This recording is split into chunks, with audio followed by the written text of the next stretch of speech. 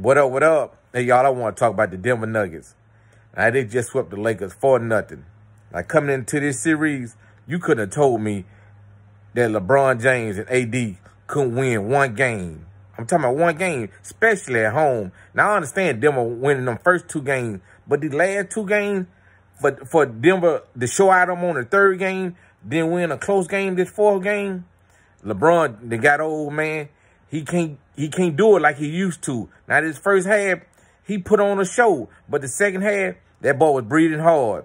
Now AD, AD looked good on defense, but on offense, he didn't show up, man. AD know he's supposed to have about 30 points a night. They needed a big time performance from AD. He's supposed to be leading that team, not them depending on LeBron all the time. Now Darvin Ham, he did good for a first year coach. He got him to the Western Conference Finals.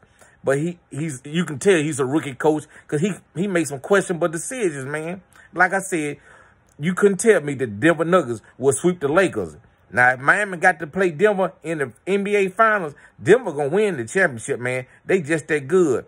Big Yoke, Big Jokovic, and Jamal Murray, them boys on a mission. They feel like nobody gave them any respect all year long. That coach Malone, he playing that underdog role to the fullest, man. And them boys looking good, man.